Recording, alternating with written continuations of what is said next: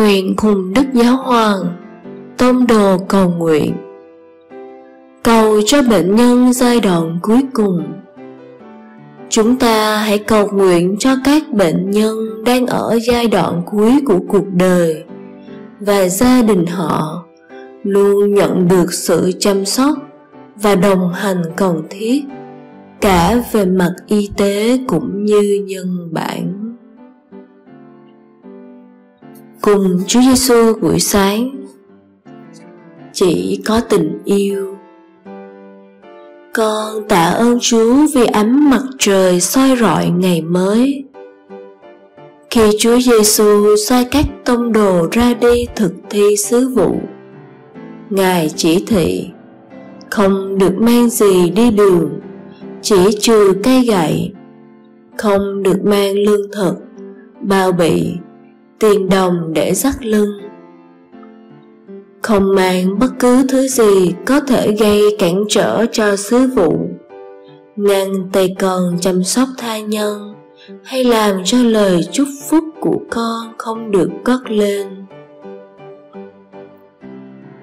Chúa muốn con phải tin tưởng và bỏ đi những mối bận tâm của con để dựng xây vương quốc tình yêu cho chúa với ý cầu nguyện của đức thánh cha làm cảm hứng, con phó thác cho chúa mọi điều thân thuộc với con. Trong tình hiệp thông với những người đang hấp hối, họ là những người dạy con biết trân trọng những điều vĩnh cửu trong cuộc đời. Lạy cha chúng con ở trên trời chúng con nguyện danh cha cả sáng nước cha chỉ đến, ý cha thể hiện dưới đất cũng như trên trời. Xin cha cho chúng con hôm nay lương thực hàng ngày và tha nợ chúng con, như chúng con cũng tha kẻ có nợ chúng con. Xin cho để chúng con xa trước cám dỗ, nhưng cứu chúng con cho khỏi sự dữ. Amen.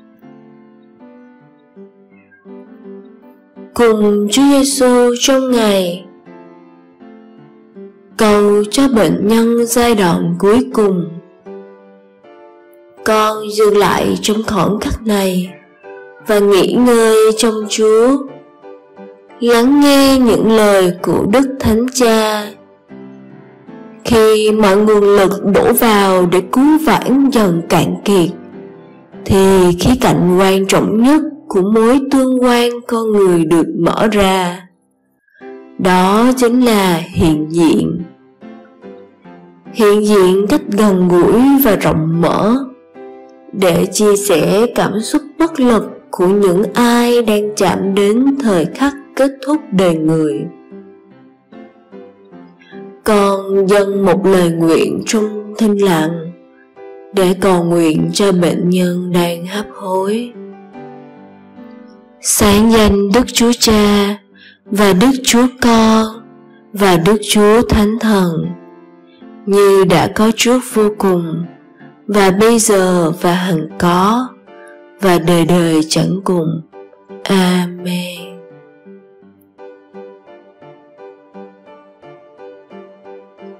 Cùng Chúa Giêsu buổi tối khi màn đêm buông xuống con tìm một chỗ yên tĩnh và hít thở sâu. Con lắng lòng và suy tư về mọi sự kiện làm con hạnh phúc trong ngày hôm nay.